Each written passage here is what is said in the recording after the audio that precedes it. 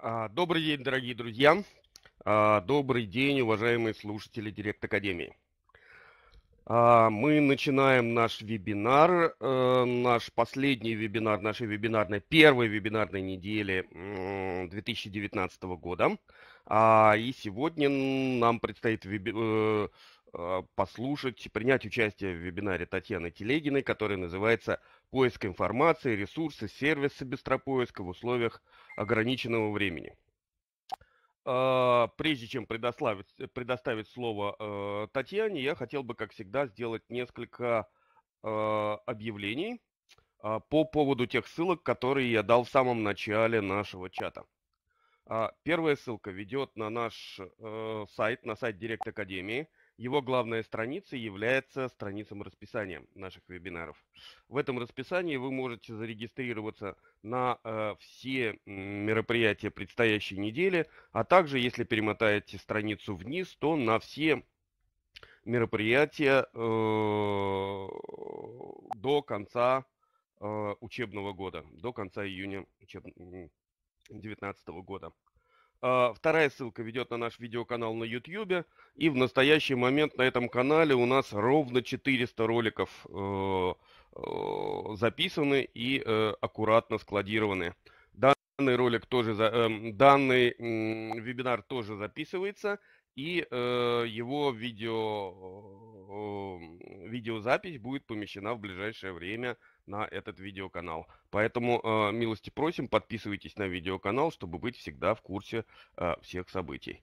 Э, третья ссылка ведет на м, страницу онлайн-курсов, где есть предложение о 9 онлайн-курсах. Вот не далее, как вчера, появился новый курс, э, можете с ним ознакомиться.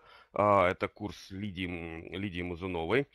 Э, э вот в ближайшее время появится еще один курс, не буду э, упреждать, но где-то в середине января у нас будет уже предложение из 10 курсов. А, так что заходите на эту страницу и посмотрите, может быть, что-то вас заинтересует.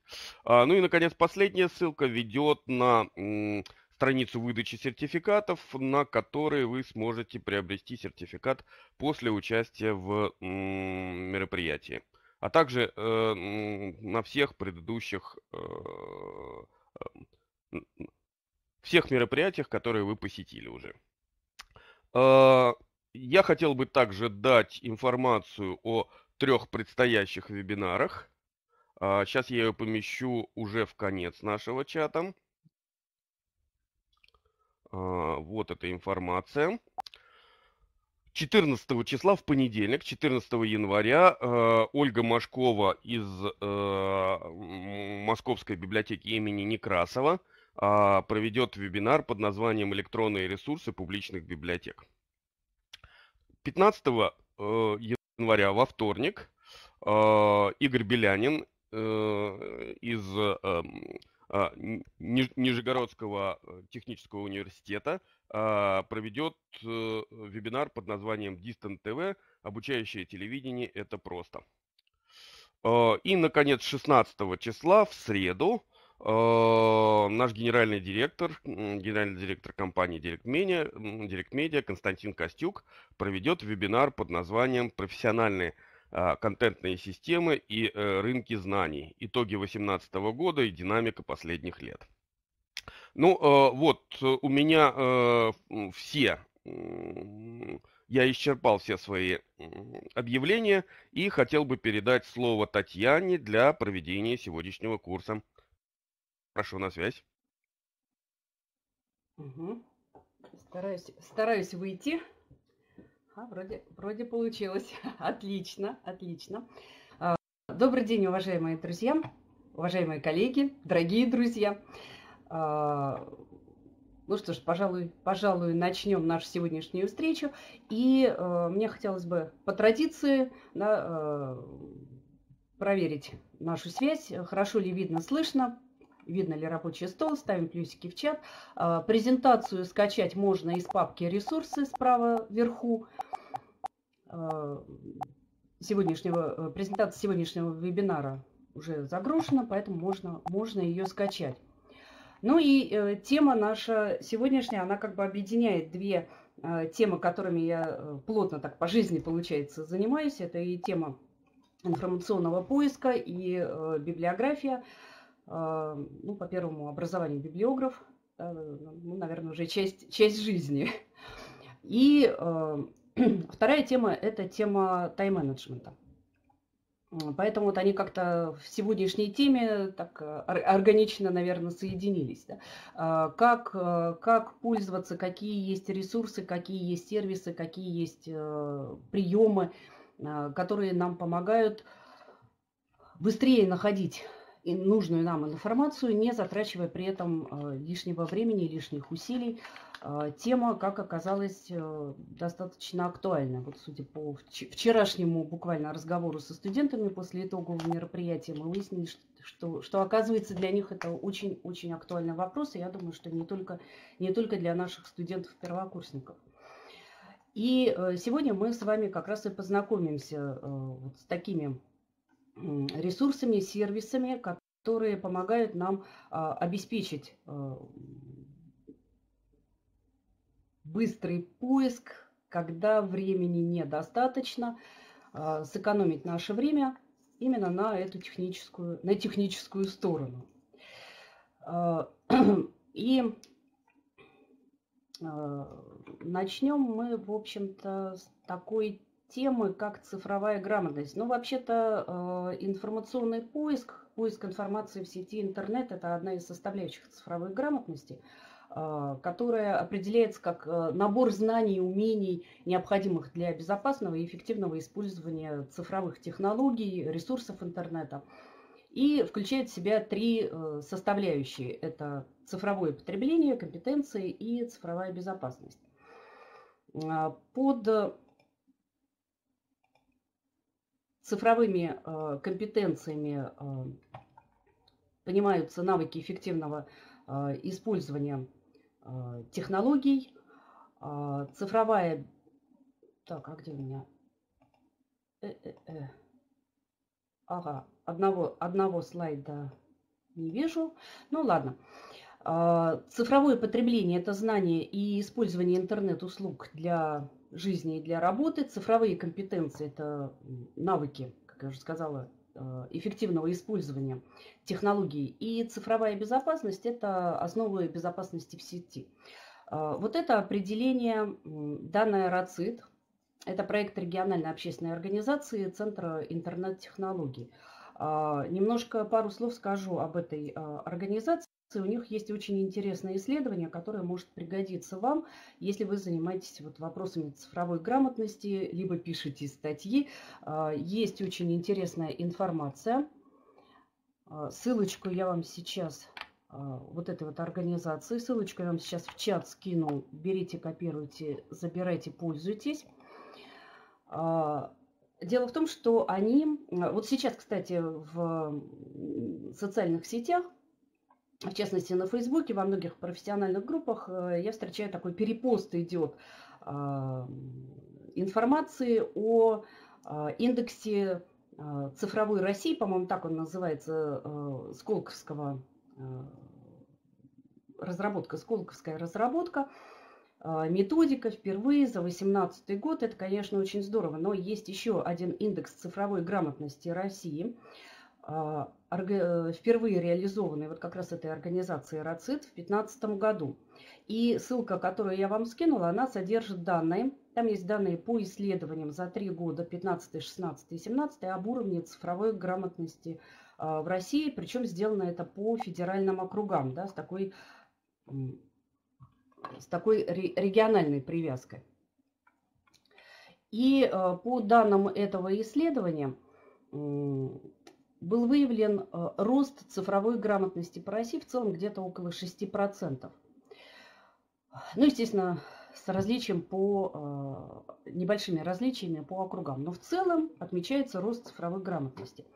Однако, да, кстати, эти же данные э, и этот же вывод есть еще в одном исследовании. Есть международный рейтинг. Так вот, тоже ссылку на него я вам скидываю забирайте, пользуйтесь. А, международный рейтинг э, индекса цифровой культуры, а, по-моему, майкрософтовский, основанный на глобальном исследовании, проведенном более чем в 14 странах, в том числе и в России. То есть, если вам нужны цифровые данные, данные статистики, касающиеся цифровой и информационной грамотности, вот, пожалуйста, этими ресурсами можно пользоваться. Источники вам сразу даю сюда. А, но несмотря на, казалось бы, такие хорошие выводы и цифры, несмотря на общий рост общего уровня цифровой грамотности, проблема а, все-таки остается. Вот буквально вчера а, мы со студентами с этим столкнулись на итоговом мероприятии. Нескольким студентам, которые получили, между прочим, очень хорошие оценки, э, четверки, пятерки, но не э, выполнили письменную работу. Я им задаю э, один вопрос, говорю, ребят, не бойтесь, вот теперь по-честному скажите, почему? Почему при хорошем знании предмета вы не, сдел... не выполнили письменную работу? Вам чуть-чуть не хватило, чтобы получить автомат и не сдавать э, итоговое мероприятие. А, ответ э, был один. Трудно было найти информацию. Э, я им поставила просто условие не э, пользоваться непроверенными, недостоверными источниками, а брать информацию из э, статей, с профессиональных сайтов, а, с, из научных публикаций. Трудно было найти информацию. Вот, казалось бы, цифровое поколение, родившееся с гаджетами, да, едим, спим, э,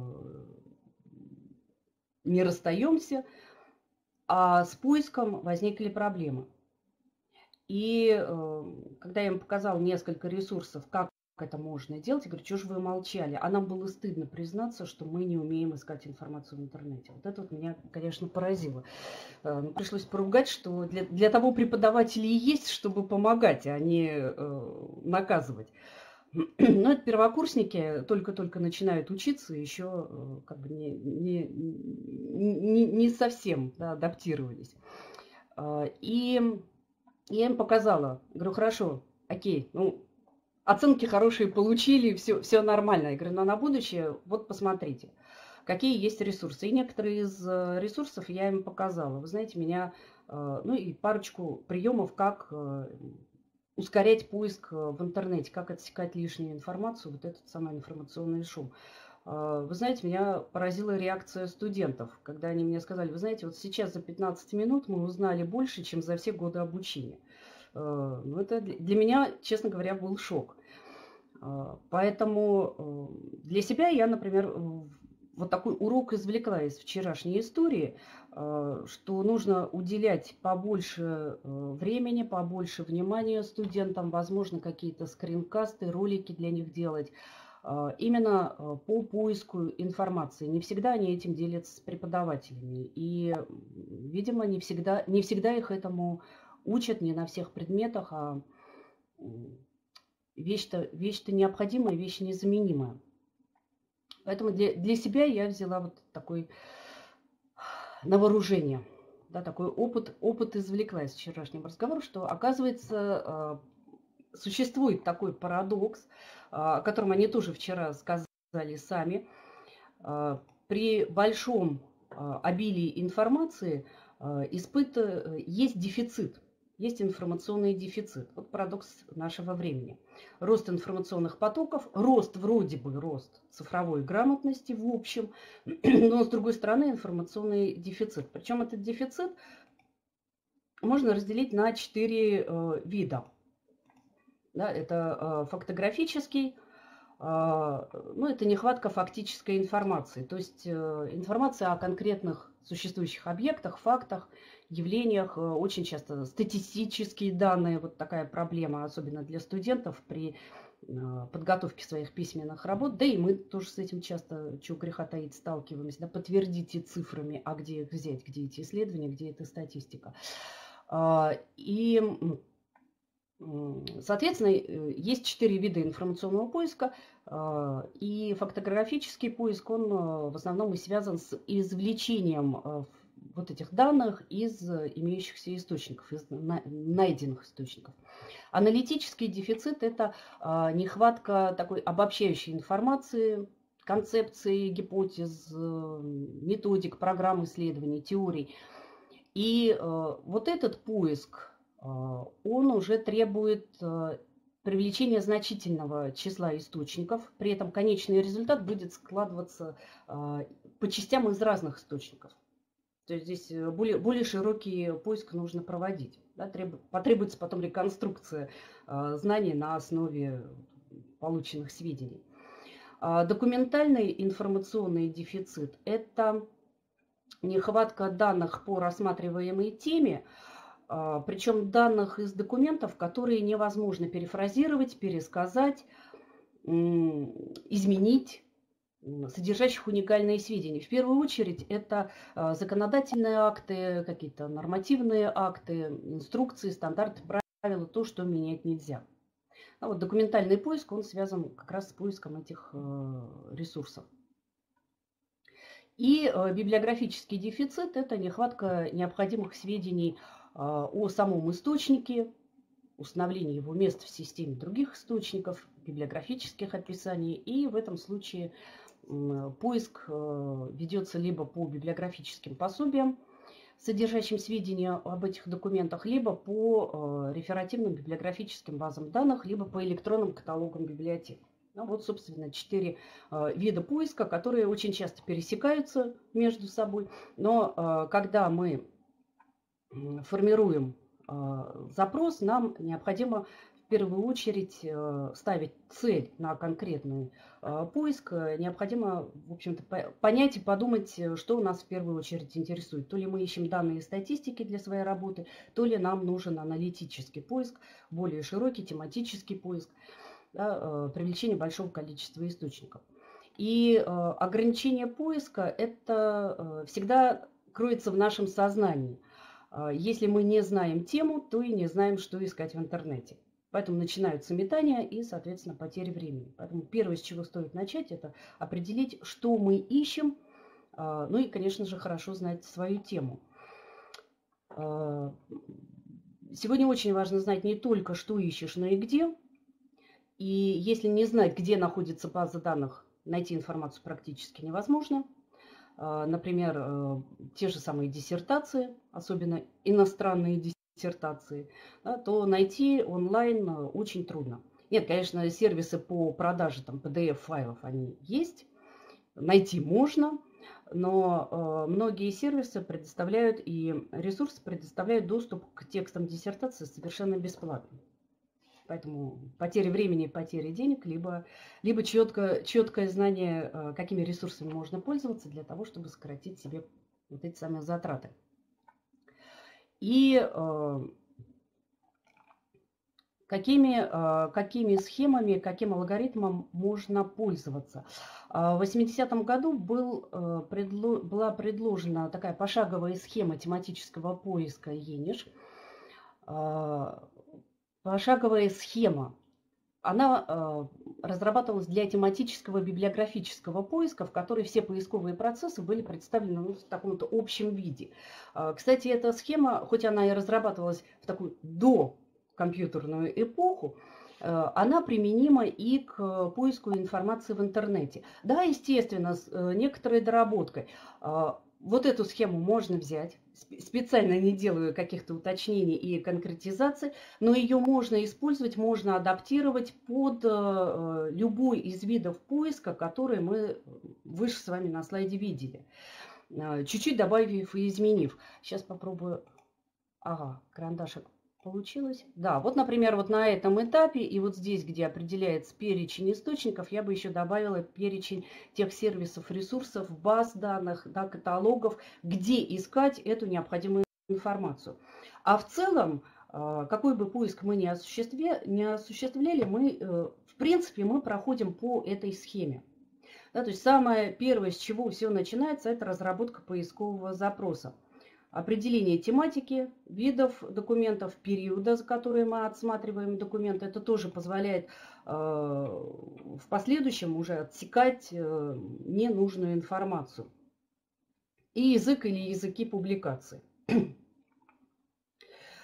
А, вот, вот здесь, э, на втором этапе составления перечня источников, я бы еще предварительным таким этапом поставила составление перечня ресурсов, а, используемых для а, поиска, поиска необходимых документов, да, необходимых источников. И вот здесь на этапе разработки поискового запроса мы тоже сталкиваемся иногда с такой проблемой, как э, слабое владение темой. То есть поиск, в принципе, он начинается вот здесь. Для того, чтобы разработать поисковый, конкрет, э, четкий поисковый запрос, э, хорошо. То, то, что мы, кстати, тоже со студентами вчера обсуждали, э, если не знаешь, с чего начинать писать статью, многие застряли на этапе введения. Начинай писать с середины, набери фактуру, а потом уже пиши начало и введение и заключение. И если слабо представляешь, что это за тема, одно дело, если ты выбираешь ее из перечня сам, другое дело, если тебе ее дал преподаватель, а ты в ней слабо еще разбираешься. Да? А, провести просто такой расширенный поиск по интернету, не концентрируясь вот на этой э, части. Вообще все, что есть по этой теме. Начните, да хоть с Википедии, посмотрите определение понятий, перейдите к источникам, э, осуществите вот этот переход по гиперссылкам, кто что написал на эту тему. Просто просматривайте, просто поваритесь внутри этой темы, а потом уже можно приступать к такой информационной археологии, проводить раскопки дальше. Э, хотя бы просто понять, да, что это, о чем, кто об этом говорил. А, то есть поиск начинается уже на этапе разработки такого поискового запроса. Вот это, кстати, для студентов почему-то оказалось открытием. А, что сначала, сначала надо повариться в этой теме, а потом уже переходить дальше. А, как искать? Да, как, как искать? Несколько советов по поиску в сети интернет – а, первый, первая рекомендация. Используйте разные поисковики.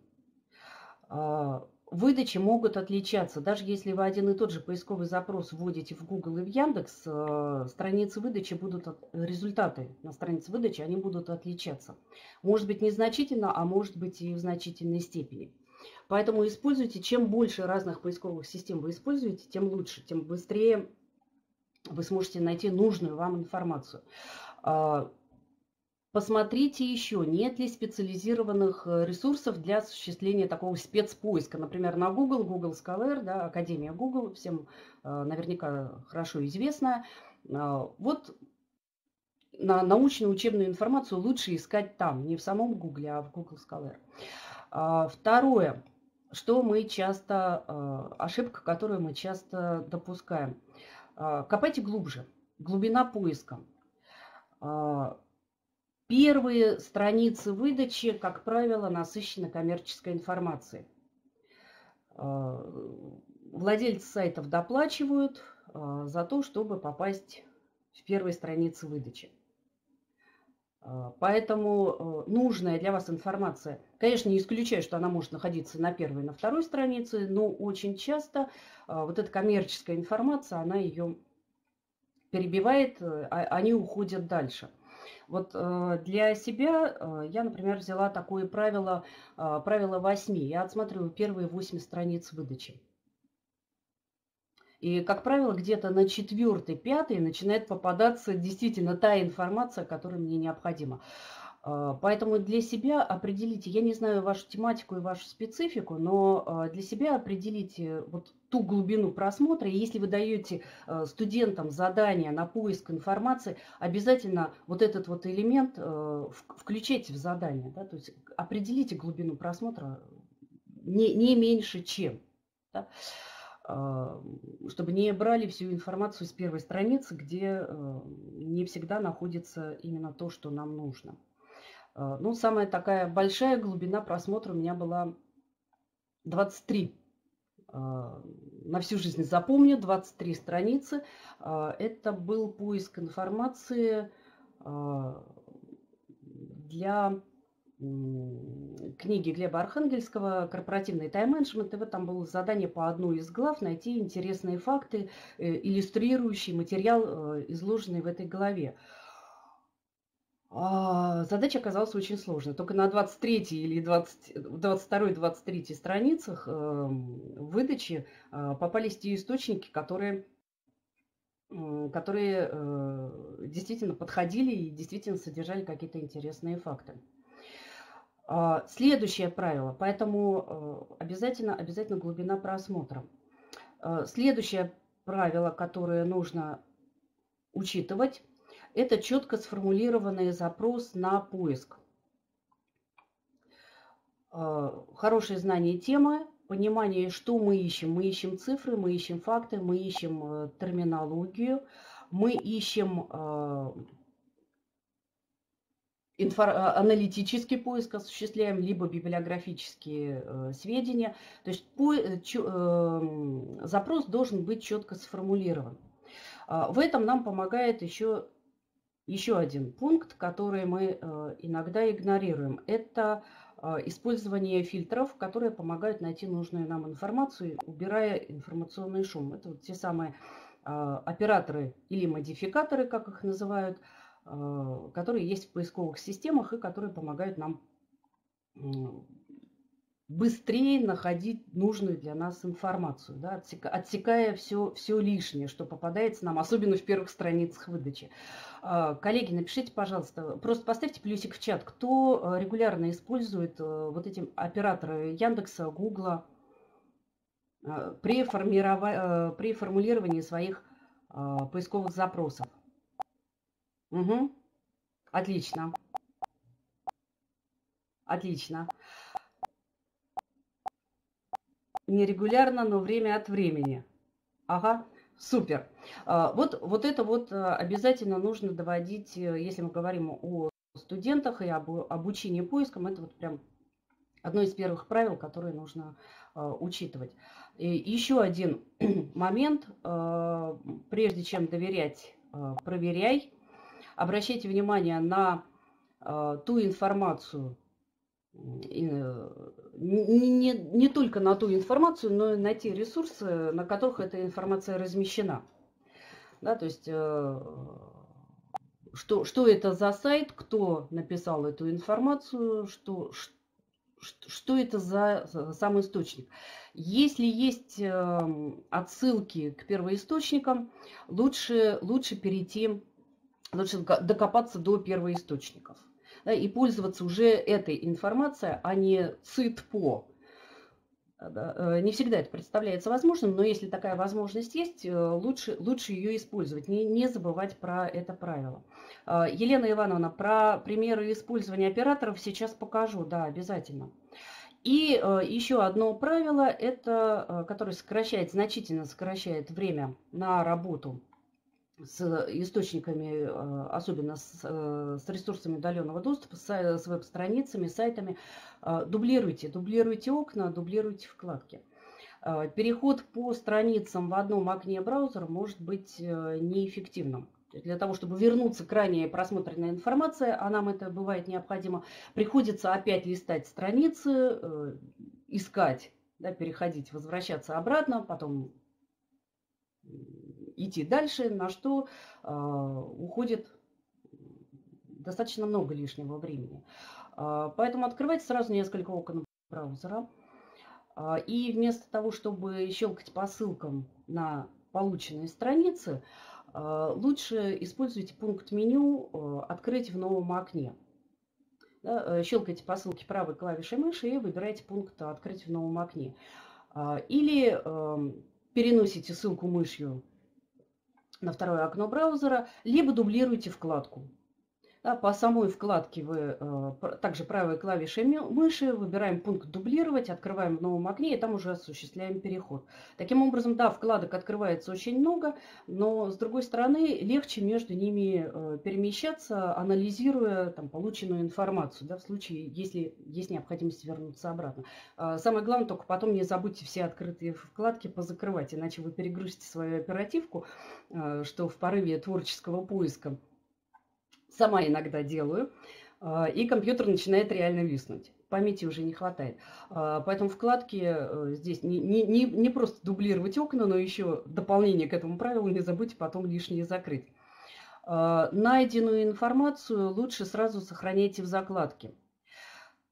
А, даже если это случайно, попутно нашедшееся, интересно, и вы понимаете, что в дальнейшем оно может вам пригодиться, но пока не соответствует цели поставленного поиска, а, сохраните лучше эту информацию в закладке, у вас всегда потом будет возможность э, вернуться. И а, организуйте систему закладок. Все в одной куче вы потом не найдете. Да, также будете тратить время.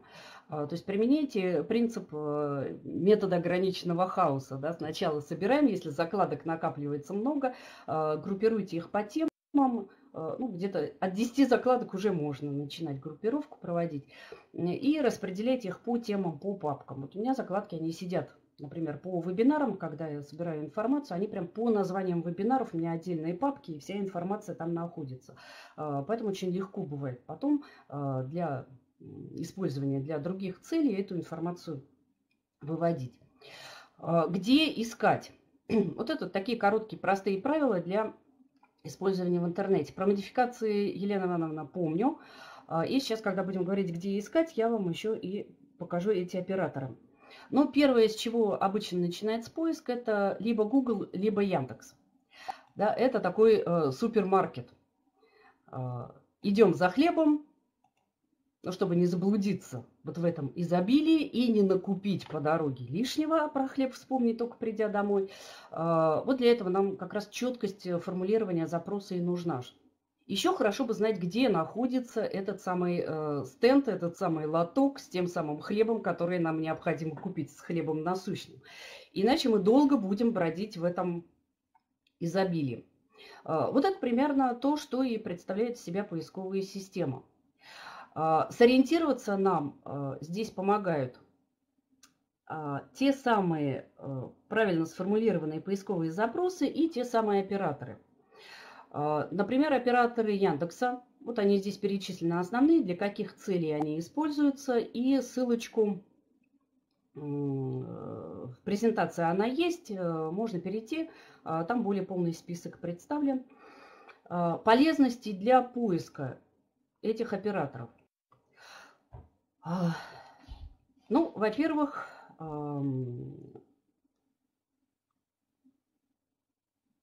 они работают только в расширенном а, поиске. Для этого требуется предварительная настройка поисковика для использования операторов. А, расширенный поиск. Угу. Да, да. Обычно он скрывается э, во всех инструкциях, если смотреть, э, указывается, что он скрывается вот здесь. После того, как э, изменился интерфейс, у меня, например, этого значка вот здесь нет расширенного поиска. Делается очень просто. Вводите свой поисковый запрос без всяких операторов. Открывается страница выдачи с поисковым запросом, и вот здесь появляется вот этот значок расширенного поиска. И вот теперь уже можно Открыв его, можно вводить уже операторы и использовать, использовать э, нужные для нас операторы. Э, какие полезности они дают? Ну, самые, э, все, все разбирать, конечно же, не будем, но просто самые, самые основные. Э, минус. Э, если мы хотим найти информацию, в которой не должно быть определенного слова, или не должно быть определенного а, формата, да, то мы применяем а, знак минус. Он ищет все вот это за исключением а, вот этих слов. То есть, например, я хочу найти все файлы, все результаты, но не в PDF-файле. Мне они не нужны. И вот уже из 97 миллионов результатов у меня осталось 21.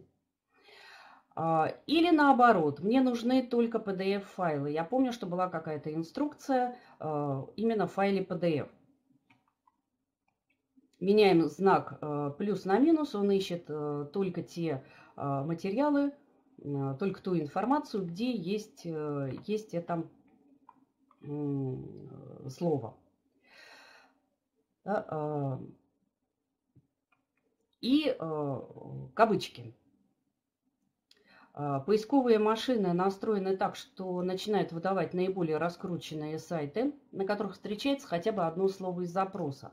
А, но того, что мы ищем, там может не быть. Поэтому, чтобы найти нужное, достаточно заключить поисковый запрос в кавычки, и поиск выдаст именно те сайты, на которых встречаются все слова.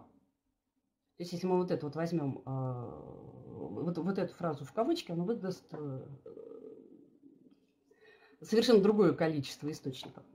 А если нам необходимо найти информацию о точного названия или полную фразу мы э, из текста не помним, а, для этого можно применять, эм, например, э, значок AND.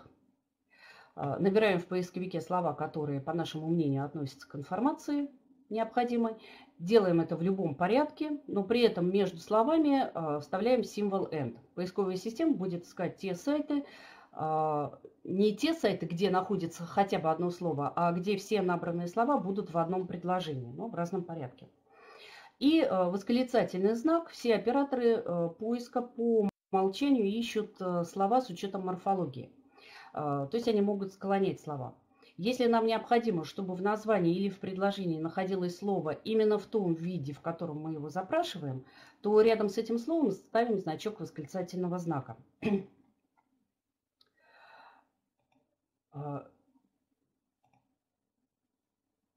так, да. Ну вот, вот, например, э, вебометрия, да, вот он выдает мне и вебометрикс, и, и, и, и, и, и, и много, много еще чего. Если я оставлю э, значок восклицательный перед словом вебометрия, он, э, вебометрия, он мне э, первые результаты начинает выдавать именно со словом, э, там, где содержится именно это слово в неизмененном виде. То есть э, результат поиска уже меняется. А, есть еще одна интересная э, фишка в поиске. Поиск по типу файла. Иногда нам необходимо э, получить либо все PDF-файлы, либо все доки, там, excel файлы, либо презентации – вот есть три способа, как это можно сделать. Например, в Яндексе. Первый мы с вами рассмотрели через значок плюс. Ставим плюс, пишем а, расширение PDF или док или PPT. А, либо второй вариант использования вот этого слова. Я ввожу поисковое слово запроса, ввожу вот это вот эту фразу и вот сюда просто подставляю нужный мне формат, который я ищу. И он мне выдает все, э, все необходимые э, документы именно в этом формате. Есть еще один вариант, как это можно искать, через э, расширение запроса. Там есть тоже поиск по типу файла. Это тоже можно делать. В Google то же самое те же самые правила и те же самые практические операторы действуют и для поиска в Гугле. Но здесь тоже они скрываются вот под этой кнопочкой «Инструменты». А, и э, в, открывшемся, в открывшейся менюшке мы выбираем все, э, не все результаты, а выбираем точное соответствие э, точное соответствие фразе, вводим сюда оператора, выбираем точное соответствие фразе, и тогда он будет искать а, с применением, применять вот эти операторы к поисковому запросу. А, операторы э, Google, вот тоже я вам привожу здесь и даю, э, привожу ссылку, где, где можно познакомиться с более расширенным вариантом и способами их применения. Причем здесь есть возможность искать и по социальным сетям, и э, определенные сайты,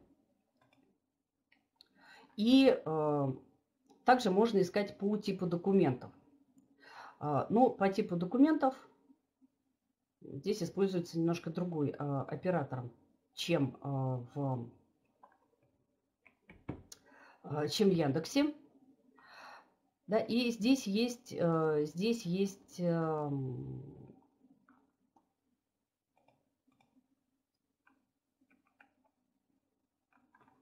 да, вот такая вот вещь. А, нет э, результатов, да. А, очень э, важно правильно вводить, э, правильно вводить запрос. И помнить одно правило по поводу пробелов и сочетания знаков. Ввожу я с кавычками, вроде бы, да, он мне выдает, что результатов нет. А, название после обозначения э, расширения файла обязательно должно быть идти без кавычек. Тогда вот он мне выдает полный список э, именно э, файлов э, презентации. Есть еще одно правило. Э, здесь мы пробелы между словами не ставим. Да, то есть знак двоеточия он не отделяется пробелами. А вот когда мы используем в Яндексе, например, те же минус, плюс, тут э, сейчас я вернусь назад. Да, вот. Если мы используем э, какой-либо из операторов, он привязывается к нужному слову. И пробел между ними не ставится, но пробел ставится вот здесь, перед оператором. А, то же самое с, да, вот он, с восклицательным знаком. Да, он не, от, не, не отделяется пробелом от э, того слова, которое нам необходимо, чтобы выводилось э, в нужном формате. Э, поэтому здесь с пробелами очень аккуратно. Иногда, поторопившись, мы можем просто э, неправильно задать запрос, э, а спешка приводит к возникновению ошибки и, соответственно, по затраченному лишнему затра, лишним затратам времени. А, кстати, вот этот поиск с использованием операторов, он применяется и в библиотечных каталогах.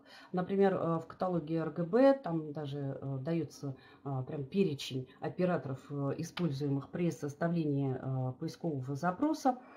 А, и на, на многих сайтах, во многих поисковых системах, во многих электронных э, каталогах используются примерно те же самые операторы, ну, с небольшими модификациями, но если общий принцип знать, то искать становится до, достаточно просто даже в каталогах. И э,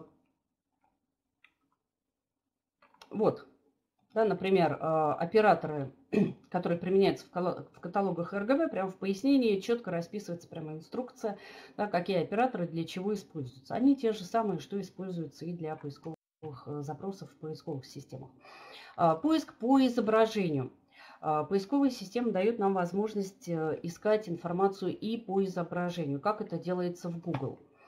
А, обращайте внимание, вот вот здесь должен, должен быть значок э, фотоаппарата. Если его нет и он не появляется, да, и его нет, а, вот, вот здесь он скрывается. Нажимаем картинки и тогда получаем возможность поиска по, а, по изображению. В Яндексе то же самое, тот же самый знак – просто P э, изображение вставляем, имеющееся изображение вставляем. Вот, например, мне нужно было найти схему, где, где, в каком источнике находится эта схема. Я хочу найти первоисточник.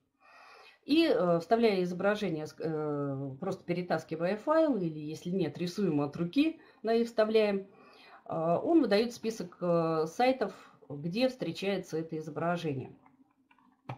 И, по крайней мере, я уже получаю сразу достаточно быстро. Название той статьи, а, авторы, год публикации, э, где, где есть э, данная схема, данное изображение. А, вот с Яндексом получилось очень быстро и очень просто. Хотя бы источник уже определен, уже знаешь, что искать конкретно. С э, Гуглом получилось несколько, несколько хуже. А, Google э, вот это изображение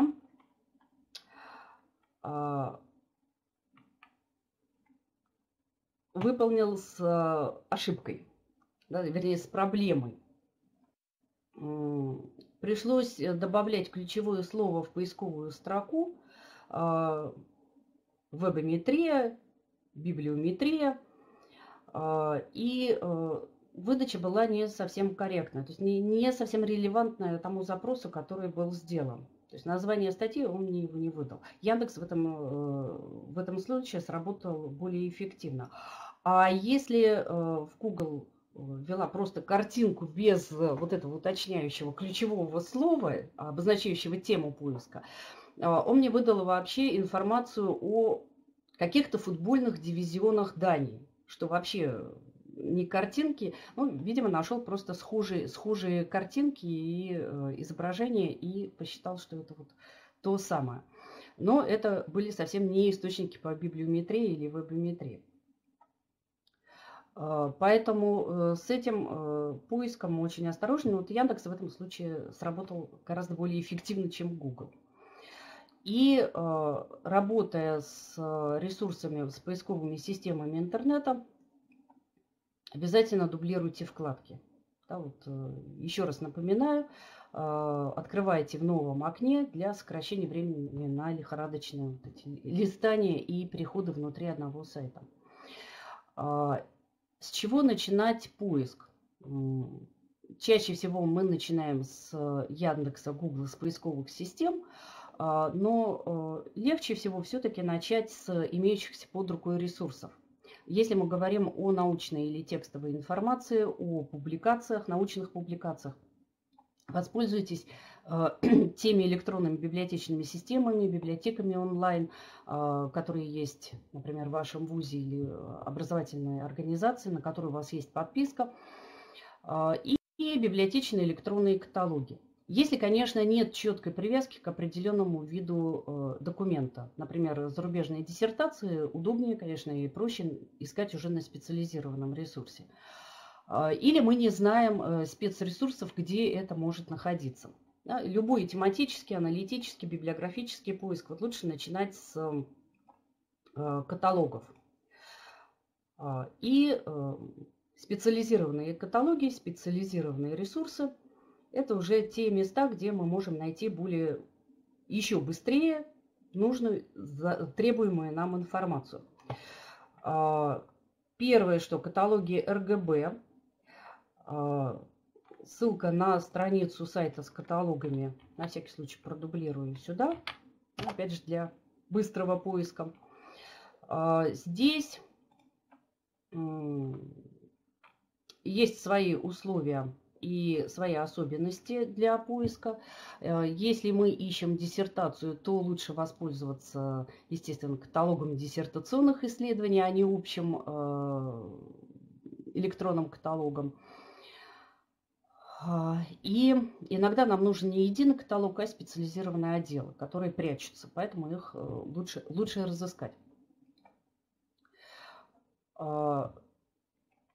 Любой поиск э, может содержать ошибки, и даже э, при правильном запросе книгу оказывается трудно найти, если мы пользуемся простым поиском. Поэтому используйте расширенный поиск и в тех же самых каталогах.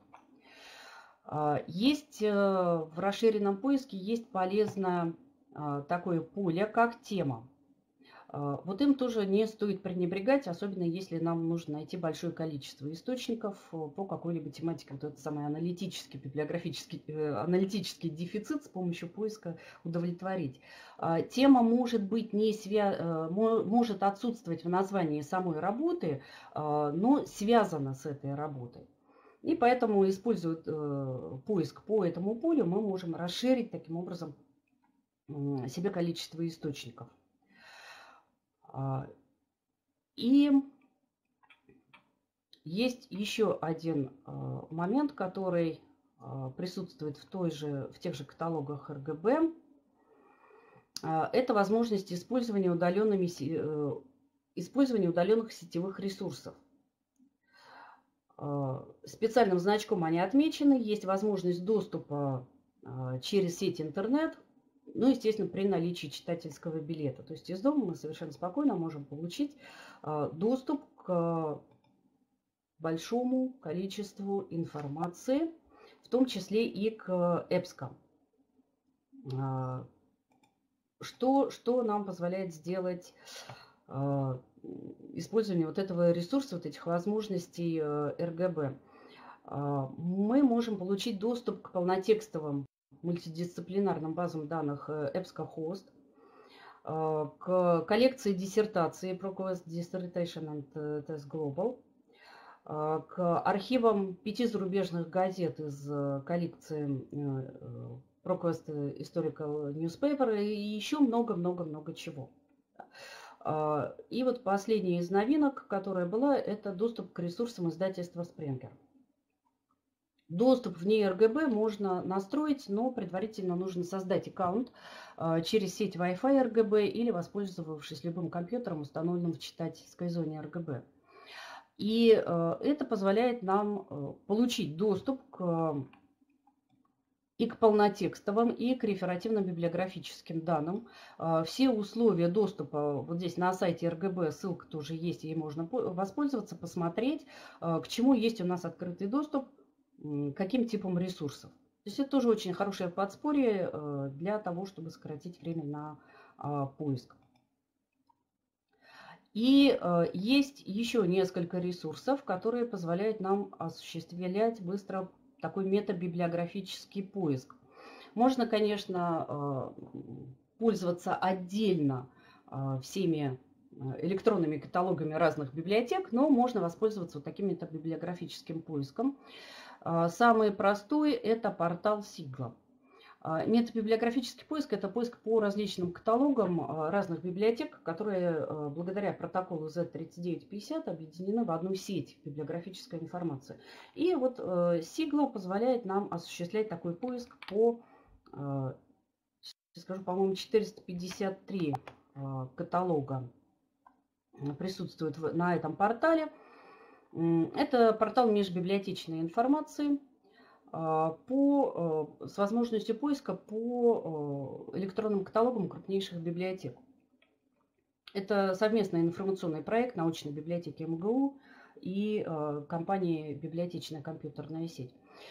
А, некоторые библиотеки, участники, участницы этого проекта разрешают с помощью этого портала удаленно заказывать нужную литературу. А, но, естественно, не всегда это, это только заказ литературы, это не, а, не всегда это доступ к полнотекстовым изданиям, к самим книгам. Но заказать можно.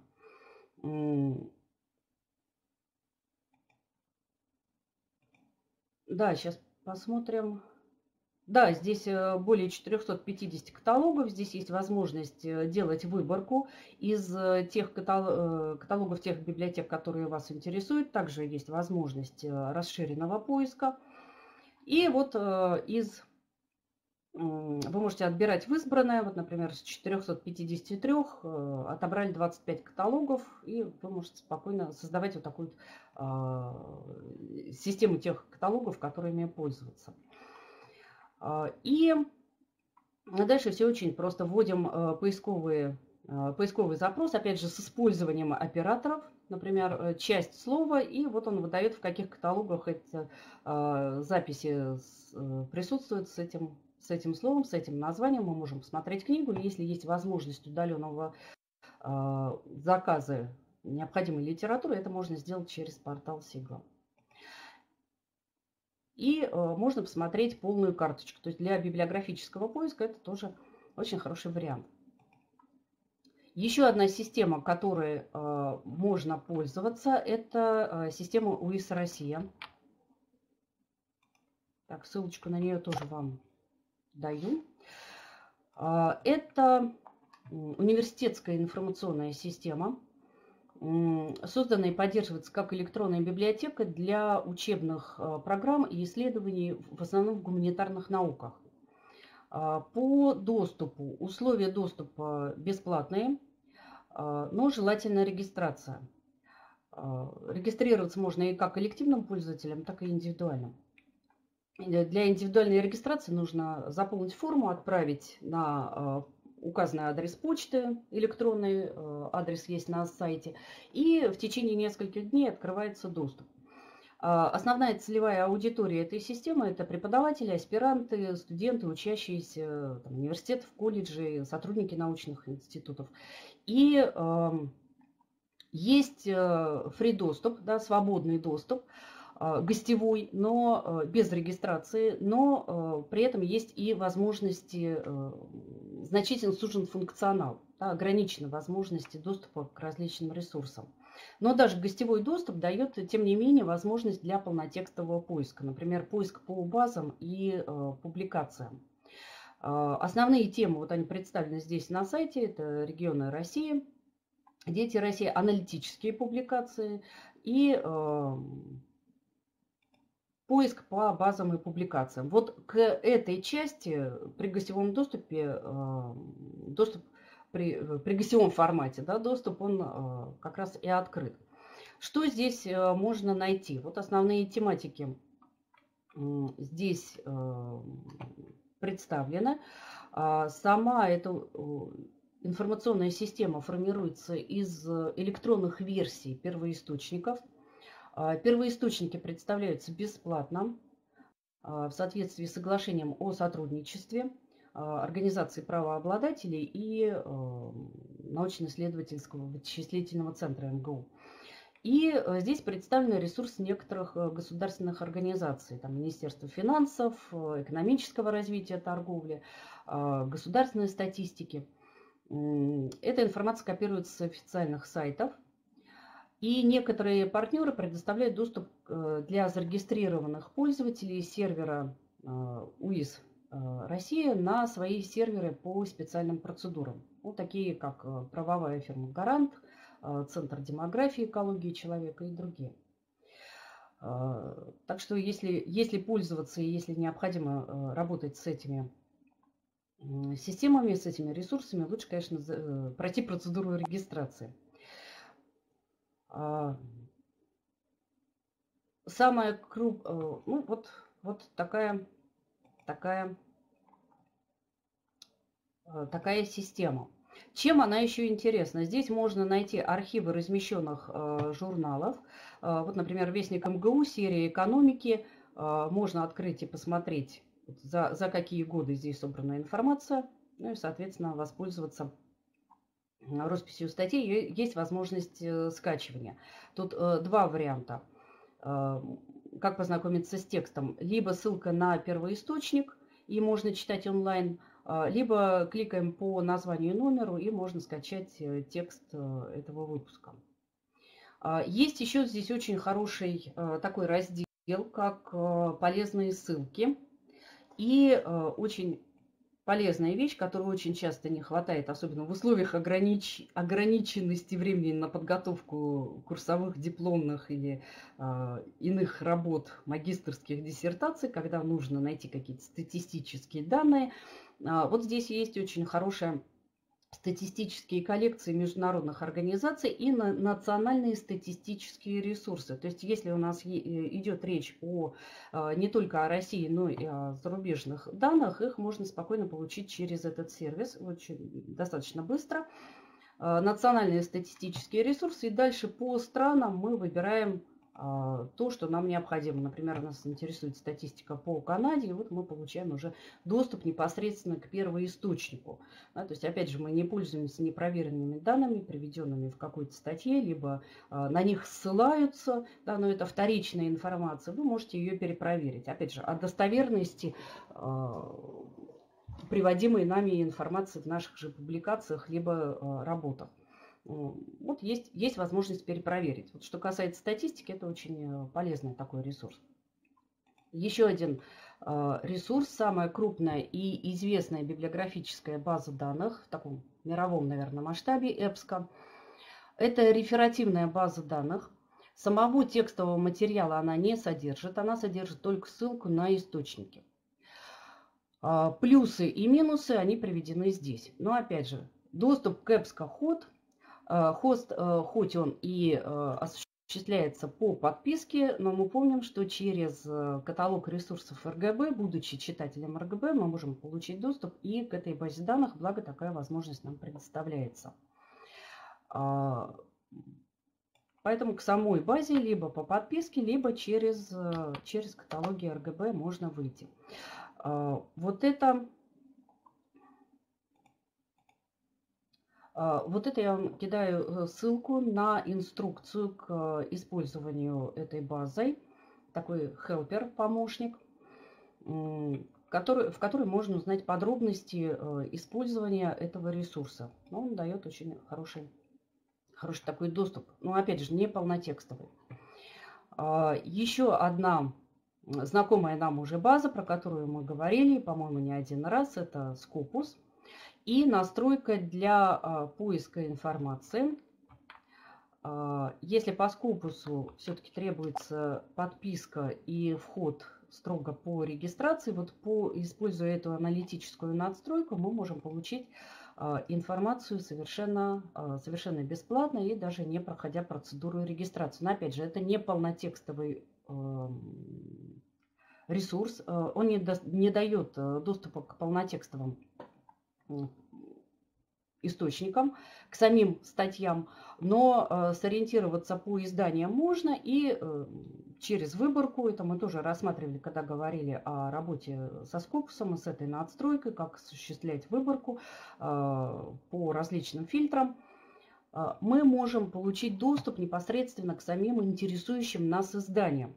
Да, через карточку издания, если есть вот эта самая ссылочка на сайт издания, а чаще всего она есть, мы можем перейти на, непосредственно на сам э, сайт, и здесь уже э, чаще всего выкладываются архивы публикаций. То есть через э, вот эту надстройку к скопсовской базе мы просто выявляем интересующие нас издания и дальше уже работаем непосредственно с ними. То есть это тоже один из способов, как быстро можно найти. Еще один вариант. А, мы э, нашли упоминание, не нашли текст самой статьи, но мы нашли упоминание, и там был приведен индекс DOI. Ищем статью через DOI, который есть у многих сейчас статей, тем более ведущих журналов. А, он позволяет нам сразу находить, ведет нас к месту хранения самой статьи. URL может меняться часто, иногда очень быстро, где-то средняя продолжительность существования, там год-полтора, потом ссылка может, заходим по ссылке, а статья уже переехала.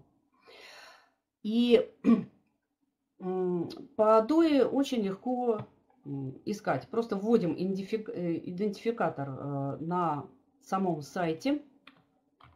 Ссылку на сайт я вам тоже кидаю в чат. На всякий случай здесь она приведена на слайде, но еще раз продублирую. Да, просто э, копируем идентификатор, вставляем, и он нам находит саму статью.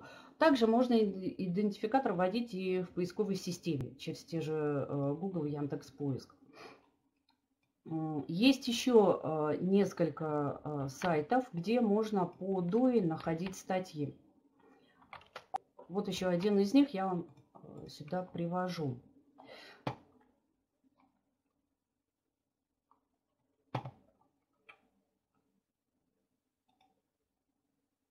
Да, ну вот еще на Crossref можно осуществлять поиск по DOI и на DataSite. Это агрегаторы, а, это официальные регистраторы, прошу прощения, агрегаторы, это официальные регистраторы, которые осуществляют э, присвоение этого индекса наряду с DOI.org. Поэтому тоже вот три, три таких ресурса для поиска э, конкретной статьи по DOI. По крайней мере, библиографическую информацию мы уж точно можем получить. Ну, э, еще раз напоминаю, один из ресурсов, э, специализированных ресурсов поиска, это Google Scholar. Э, русифицированная поисковая система позволяет нам выполнять вот следующие, следующие операции. Осуществлять полнотекстовый поиск, есть функция «цитируется по» и непосредственно переход к самой статье. А, Причем, если статья размещена, например, на киберленинге, тут же можно осуществить переход непосредственно к самому тексту этой статьи, не открывая дополнительно сайта. Ну, киберленинг – это уже всем давно известный ресурс. Есть еще парочка ресурсов, которые помогают нам в поиске, в поиске информации. Это информрегистр – сайт информрегистра, а, где э, собираются электронные издания сетевого распространения. Вот три. На одном из вебинаров мы подробно этот ресурс рассматривали, но еще раз напоминаю, э, что им можно пользоваться, если нас интересуют именно электронные издания, которые распространяются сетевым образом. А, для э, печатной информации не забываем про сайт РКП Российской книжной палаты – на самом сайте возможно, э, возможен доступ не ко всем изданиям, но тем не менее к библиографическим пособиям книги России, диссертации, авторефераты диссертации, газеты. И через эти библиографические пособия возможно осуществлять и тематический поиск, и библиографических данных да, поиск библиографических данных. Библиографическими пособиями не пренебрегаем. Здесь тоже, особенно при изучении какой-то новой темы, очень легко можно получить необходимую для нас информацию. А, поисковые, еще к поисковым ресурсам. А, где искать э, зарубежные диссертации? А, вот такой небольшой список по различным а, упоминаниям, по различным ресурсам я вам здесь привожу. Если нас интересуют именно зарубежные диссертации, зарубежные исследования, можно воспользоваться вот этими, вот этими ресурсами, которые предоставляют такой доступ. Вот первый – это метапоисковая система – она дает возможность осуществлять поиск полнотекстовых диссертаций открытого доступа или сведения о диссертациях э, ограниченного доступа. А, баз где-то содержит около 4 миллионов документов. А, но э, здесь важно при осуществлении поиска обращать внимание, э, дает, дают ли, э, дается ли возможность именно полнотекстового, либо только описание диссертации. Ну, иногда этого бывает достаточно. А, в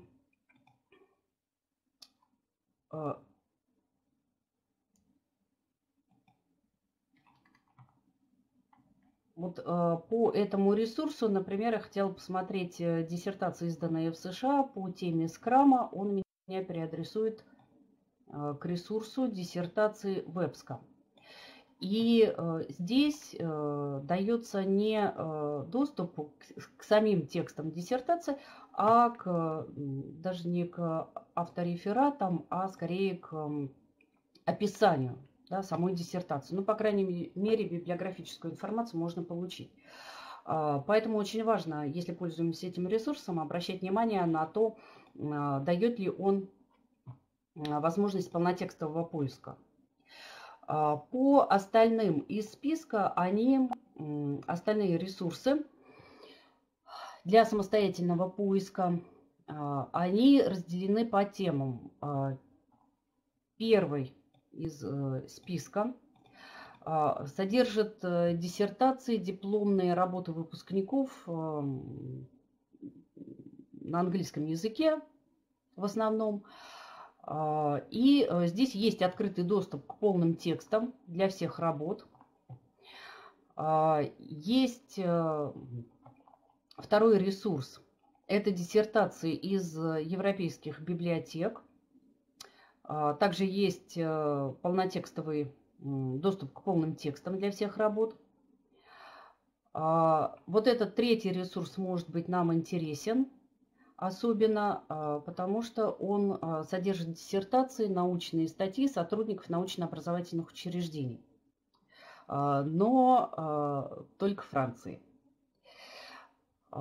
Также есть э, доступ, э, полный доступ к текстам работ – и дальше э, идут э, ресурсы, вот этот э, третий, четвертый, это по японским университетам и институтам. А в основном содержит только библиографическую информацию по диссертациям. А, и следующие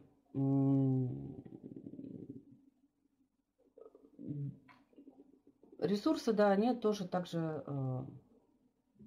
специализируются на поиске диссертационных исследований а, по различным э, тематикам. По, э, там где, где-то по отдельным странам это надо уже смотреть. Ну вот э, лучше всего пользоваться вот этим вот метапоисковой системой, которая дает возможность искать уже по странам и континентам. Значит, по научным статьям, это что касается диссертационных исследований, по научным статьям основные поисковые ресурсы, также я вам привожу здесь списком, а, можно смотреть. Вот этот а, самый первый ресурс Unpaywall, один из самых удобных инструментов для бесплатного доступа. Лучше всего а, на него заходить э, либо под Chrome, либо под э, Firefox. Это расширение для этих браузеров – а, автоматически оно устанавливается и автоматически ищет полные тексты научных статей.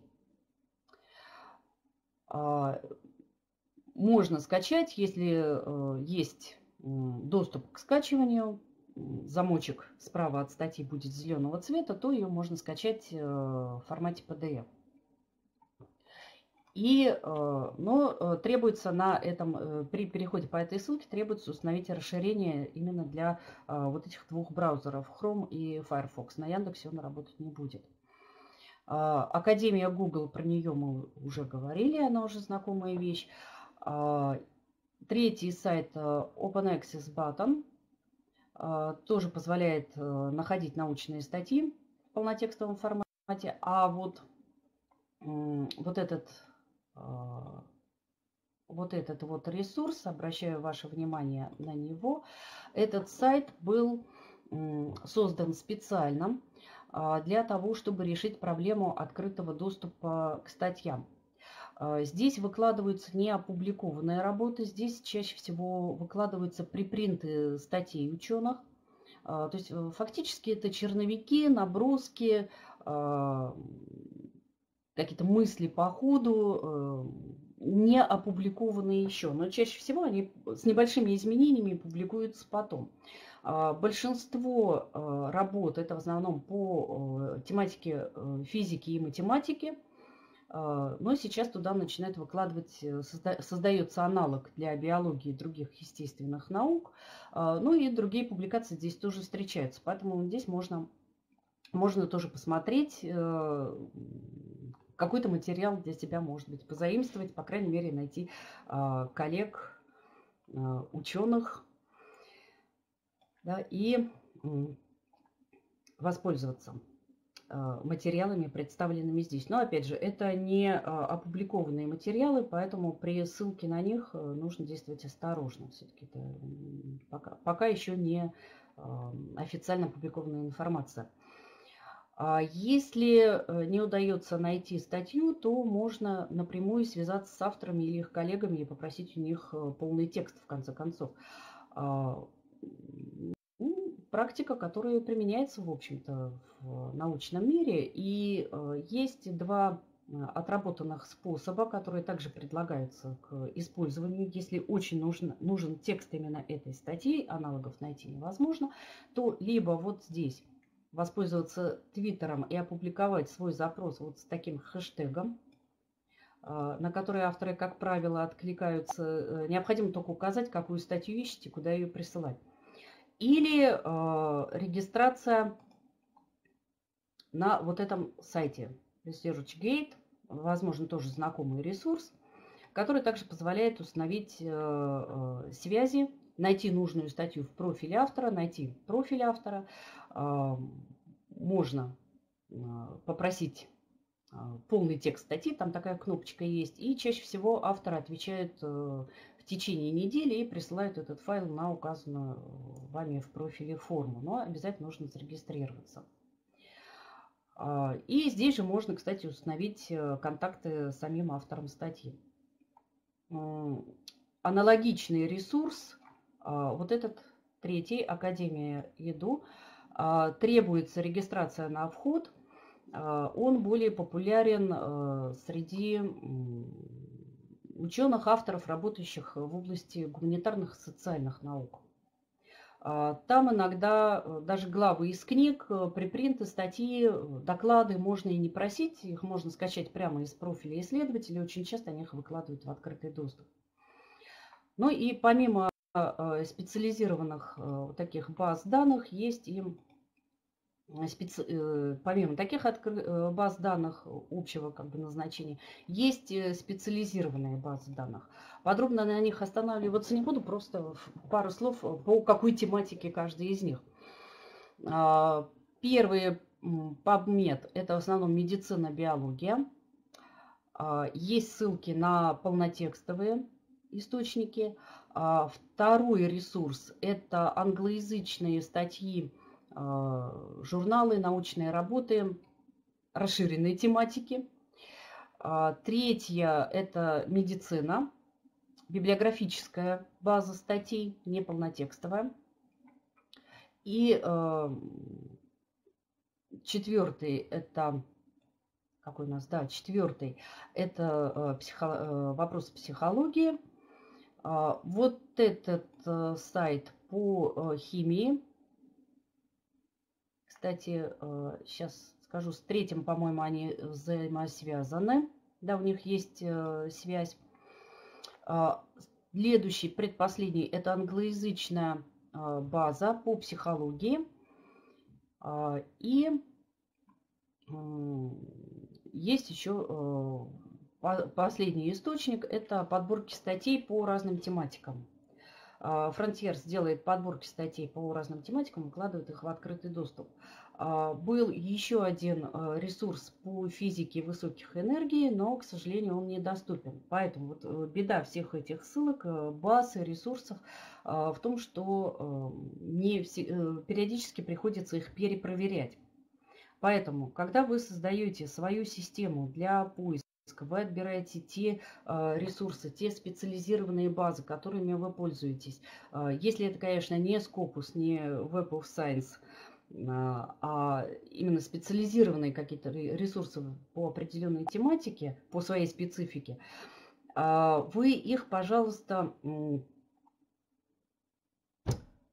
периодически проверяйте. Потому что последняя, последняя база, я ее даже в список не стала включать, когда я попробовала по ней перейти, он выдает 404 э, error, да, сайт недоступен и, и, и все ее уже нет. Значит, надо искать какой-то другой новый ресурс.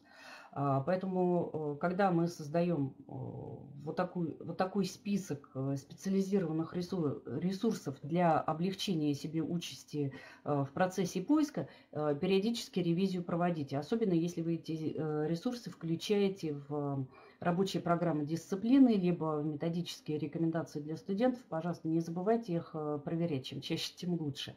А, э, да, бывает и переезжают сайты, и меняются, и закрываются. И вот э, с детскими поисковыми системами, например, вот так вот произошло. Один из широко рекламируемых ресурсов на данный момент сейчас недоступен. Елена Ивановна, ссылки должны быть кликабельные, если скачать презентации с самой презентации они не кликабельны, но если вы ее скачаете и потом откроете э, в Adobe э, Reader, да, Rider, то э, ссылки должны быть кликабельны.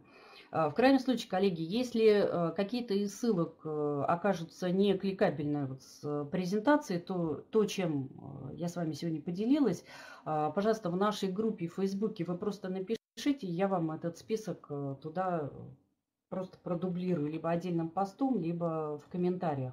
А, на всякий случай сейчас напомню адрес нашей группы.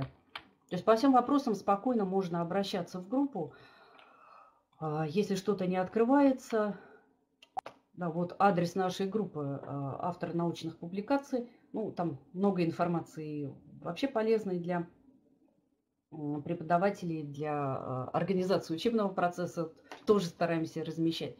А, поэтому вопросы или какие-то затруднения, если будут, можно спокойно писать туда, там мы это, а, там мы это э, и обсудим, и сможем решить. И а, напоследок, напоследок от серьезной темы парочку поисковых, детских поисковых систем приведу. Возможно, кому-то это пригодится. Может быть, э, для учителей это будет полезно да, да и для других тоже. А, детская поисковая система АГА а, создана специально для самых юных пользователей интернета, а, предназначена для поиска информации детских ресурсов. Здесь много ресурсов по воспитанию, по здоровью детей, и она может быть рекомендована не только самим детям, но и родителям. Очень хороший, кстати, ресурс для того, чтобы приучать э, ребенка к основам цифровой грамотности уже с детства, да, чтобы они потом на первом курсе не говорили, что оказывается э, поиск это целая история и не так все просто и легко. А, тем более, что контент защищенный и спокойно им можно пользоваться, не, не, не боясь, что дети э, в Яндексе или Гугле нагуглят что-нибудь не то. Да, вот специальная детская тематика. То же самое формирование э, поисковых запросов, почему бы не поучиться э, здесь, не, не, не, не, не попробовать организовывать поиск, например, для э, детей с помощью этого ресурса. А, может быть полезен не только детям, но учителям и родителям, и много полезной информации содержится именно на, на этом ресурсе есть, поэтому можно спокойно им пользоваться. Еще один ресурс, которым, возможно, пользуются вот-вот-вот, это началка. Да, тоже содержит много информации а, учебного характера и для детей, и для родителей, и для учителей. Был еще третий ресурс, но это вот как раз тот самый случай, а, когда ресурсы исчезают безвозвратно. А, если встретите э, в интернете эм, вот такой ресурс Квантура для детей, имейте в виду, он не работает. Да, вот, э, вот этот ресурс сейчас не работает. А, если искать э, не по квантура э, для детей, а просто квантура.ком, очень часто идет пересылка на него, там вообще открываются какие-то отели Великобритании.